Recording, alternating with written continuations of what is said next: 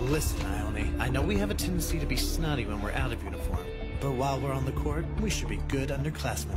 Hmm.